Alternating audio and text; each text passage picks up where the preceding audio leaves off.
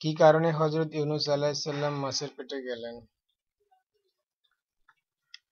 ইউনূস আলাইহিসসালাম বর্তমান ইরাকের মুসেল নগরীর নিকটবর্তী নিনাওয়া জনপদের অধিবাসীদের প্রতি প্রেরিত হন।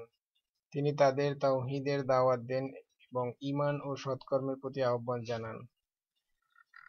কিন্তু তারা তা প্রতি অবাধ্যতা প্রদর্শন করে বারবার দাওয়াত দিয়ে প্রত্যাখ্যাত হয়ে আল্লাহর হুকুমে ইউনূস আলাইহিসসালাম এলাকা ত্যাগ করে চলে যাবার সিদ্ধান্ত নেন।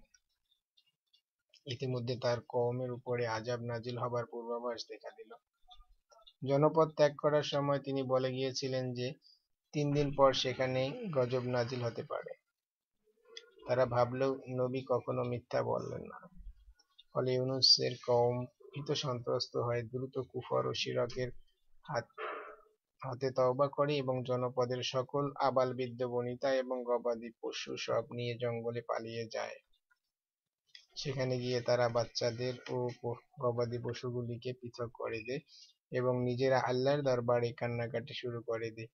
তারা সর্বান্তঃকরণে তওবা করে এবং আসন্ন গজব আল্লাহর আশ্রয় প্রার্থনা করে। পরে আল্লাহ তাদের তওবা কবুল করেন এবং তাদের উপর থেকে আজাব উঠিয়ে নেন।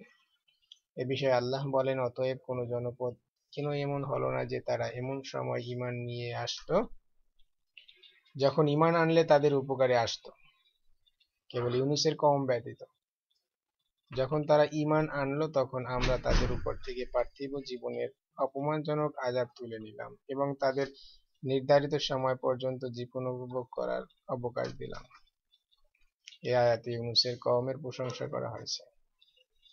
ওদিকে ইউনূস আলাইহিসসালাম ভেবেছিলেন যে তার কওম আল্লাহর গজবে ধ্বংস হয়ে গেছে।